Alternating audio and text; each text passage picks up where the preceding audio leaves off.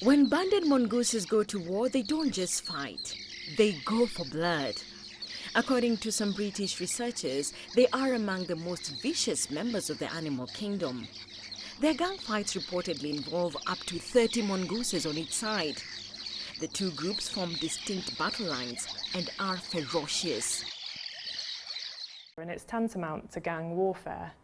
Um, rival groups will, um, on seeing each other, will um, screech to alert their fellow group members that there's a rival group in the area.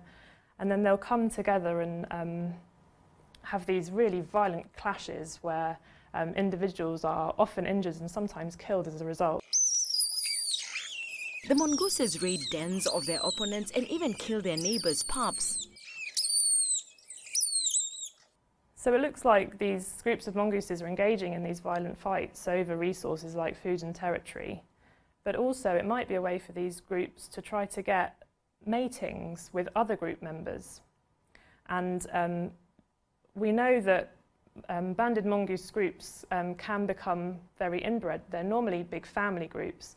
So um, engaging in these fights with rivals might be a way for them to obtain extra group matings and to try and reduce the level of inbreeding within their group. And we've actually observed males and females from rival groups engaging in matings while these very chaotic fights are going on. Thompsons, who works at the Center for Ecology and Conservation at the University of Exeter Penryn campus, says that understanding intergroup conflict can help explain human behavior. So humans are also another cooperative species. We live in social groups and we help each other with things like raising family, working together. So understanding um, how conflict arises and is resolved in things like in species like banded mongooses can also um, inform us on human social behaviour as well. The research is the latest finding of an 18-year-old study of banded mongooses in Uganda. The findings were published in the journal Animal Behavior.